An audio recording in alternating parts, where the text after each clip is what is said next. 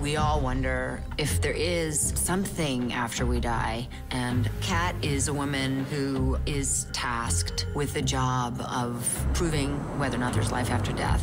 You absolutely believe Jennifer as a cardiothoracic surgeon, as a mother who would go to any lengths to protect her child, as the questioning, cynical scientist. You know the trouble with just believing?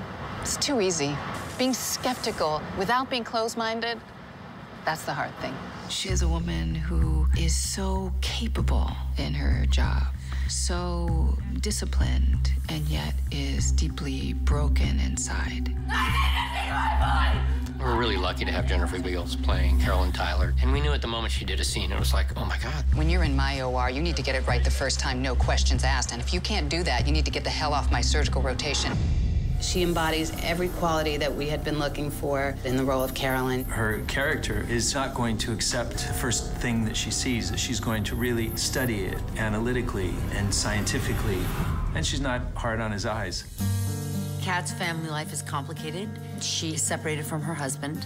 Hi, Dad. Bye, Mom. Kat has a daughter who is complicated and going through her own stuff as teenagers do. She has a son that was killed in an accident.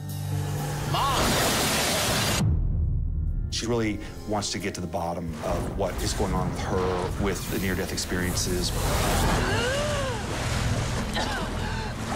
She starts out as being incredibly scientifically minded, but there are some things that she begins to see and experience that she can't fully explain. We recorded an actual experience of what somebody has when they die.